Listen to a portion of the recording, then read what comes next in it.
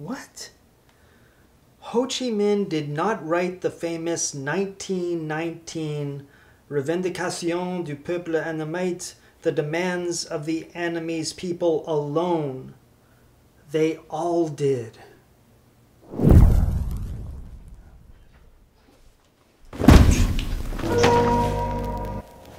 What the hell was that?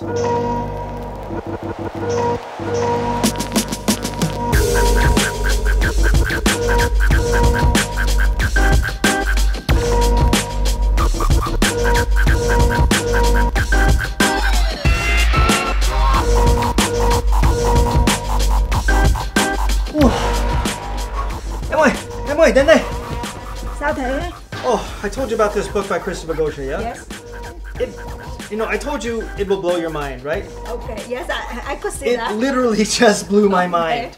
This is unbelievable. So, I mean, I told you, like, the thing that's amazing about this guy is that um, he puts things in these contexts. Like, it can be an international context, for instance, or a comparative context. And when he does that, um, it doesn't discredit things that happened, but it just makes you see things in a new light. So, you know how in 1919, Ho Chi Minh uh, went to Versailles, where the peace treaty after the end of World War II, uh, World War One was being held, and he tried to give um, President Truman this document, right? And Truman didn't receive him, and that's a big, you know, event. Well, this is what Goscha writes. He said, um, you know, Ho Chi Minh by that time had been traveling around the world. He'd come into contact with people like um, the Chinese revolutionary Zhou Enlai, um, Zhu Mm, Zhou Enlai, yeah, in in China in, in uh, France when he was there. Um, and he his English was improving. He of course knew French. He could sort of engage in what they call brush talks. Um, Bút đàm, hay là gì đàm, hay là Bút yeah, in, in with Chinese. Um, and so yes, he went to Versailles, but um, before he submitted his document, Korean nationalists submitted their petition to the conference on 12 May.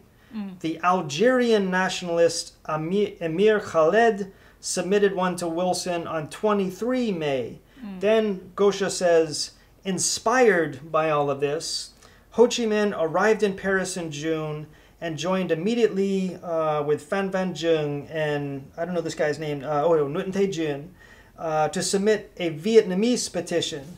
And so he says Ho Chi Minh did not write the famous 1919, you know, document alone. They Okay. all did.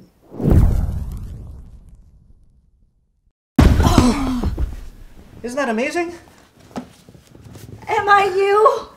Oh wait, see, I told you this book blows your mind. You know, so you Am know. I Liam Kelley? No, but there's more stuff like this. It just goes on and on. So Okay. the whole um, okay, so the 1945 August Revolution. Of course, we know that Ho Chi Minh had to do a lot of things. You know, a lot of kind of uh, there were a lot of sort of decisions he had to make to get everything into in place and all of that. And so that's not really new information. Of course, we know that. But the way that Goscha presents it is that. Um, you know he really you know he really he really it's like instead of you know he really it's like you're standing instead of looking back and creating a narrative to show um, that only focuses on like what ho chi minh did it's as if he goes through time and shows you at every moment what the options were and then takes you a little further in time and shows you how like okay well this option fell out and this thing changed so you see it really as this, you know, move forward of a constantly changing, um, you know, world and environment, which sometimes works in Ho Chi Minh's favor and other times, you know, doesn't. But basically, the result of it is is you see all of these different things that came uh, into place that enabled something like the August Revolution. It doesn't, you know, discredit the actions of human beings but it just it shows how contingent historical events are how they rely on so many things that are beyond the control of individual you know humans. So for instance um, Yeah. uh, okay, so you know he sets it up by saying that in 1934, Ho Chi Minh left the Hong Kong prison that he was in, went back to the Soviet Union, and that basically left um, radicals and young revolutionaries in Vietnam to al- align themselves with Nguyen An Ninh in the south. Okay. And so, you know, that's one thing that, you know, down the line somehow, um, you know, would have to change for the August Revolution to take place.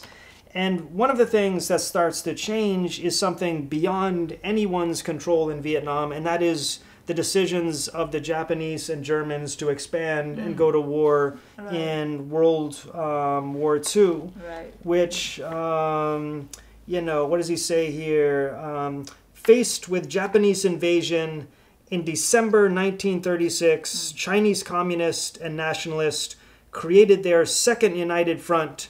And then he says that stalin backed this and ho chi minh benefited directly from it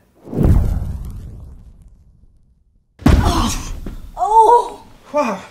Oh my god i tucked in my shirt. What the heck? Wait these are your clothes. Oh man. Come i on. told you this book it's just mind-blowing. Yeah so you know. Goscha, what have you done to us? So of course we know that like Ho Chi Minh went to China So because um, you know to uh, I think really to kind of report on what was going there with the alliance, right? But again, if the Japanese had not invaded and the the communists and the nationalists in China therefore would never have had a reason to form a, a united front together. Stalin would never have seen the need to send Ho Chi Minh to figure out what was going there. You know, these are all things that were beyond the control of anyone in Vietnam, but they're essential to, you know, the kind of things, you know, the, the succession of events that happen that eventually lead to, um, you know, the August Revolution, which is really, really fascinating.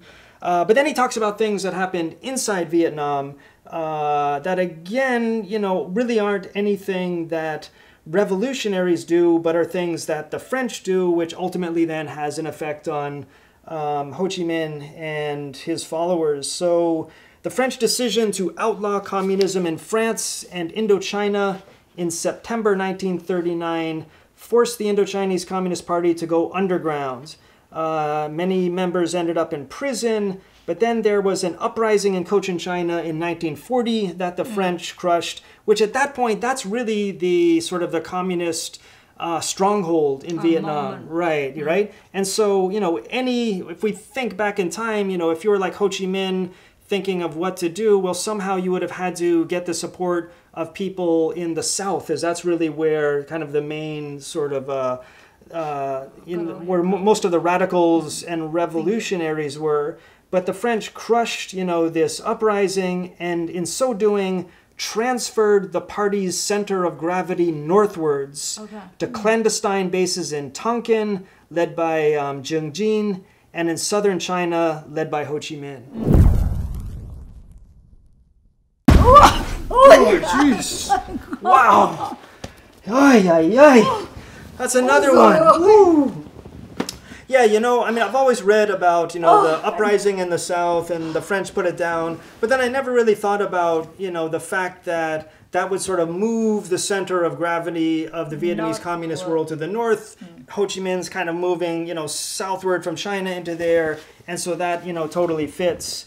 Um, and which, which also, you know, there's there are um, Vietnamese nationalists who are also in southern China. There's a big group there who um, are trying to get the support of the Chinese Nationalist Party. So actually, all these happened like in the early 40s, right? Yeah, right. Yeah, That's a good right at the start of the war, right? Mm. And so you know, he says so. So here's something that you know um, is like a conscious decision that Ho Chi Minh makes that is important. Um, but it also, you know, it relates to other people not making the same decision.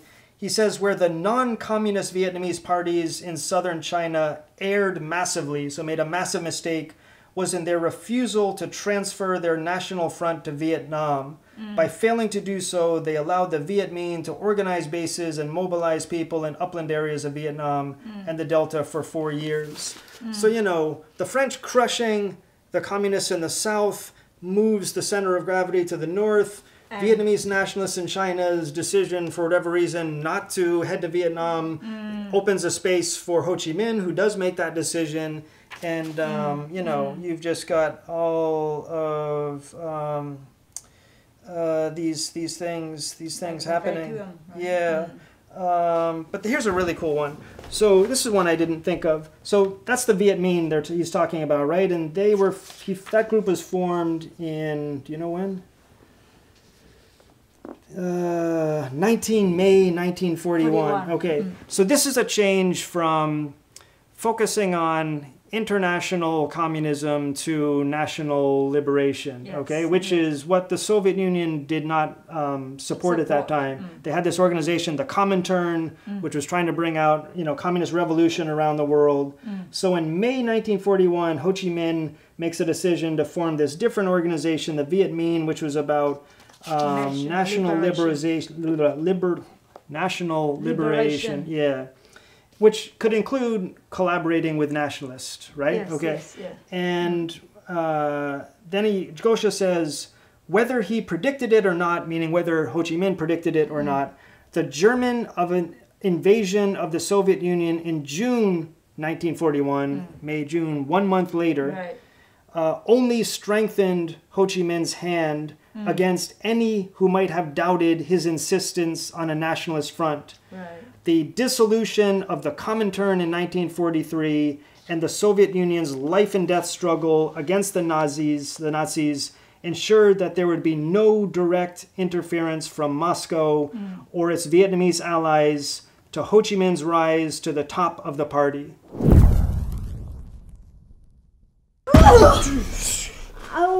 I got my shirt back. Whew, okay. happened to my buns? Oh, those are cute. Yeah, you're looking good. Okay.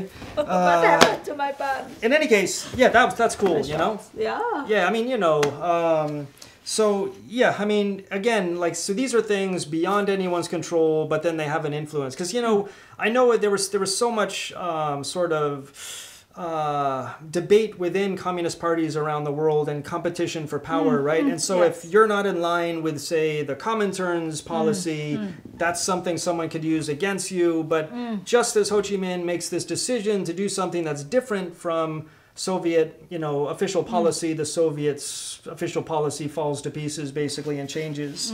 So, yeah, so that's really interesting. yeah. Whew.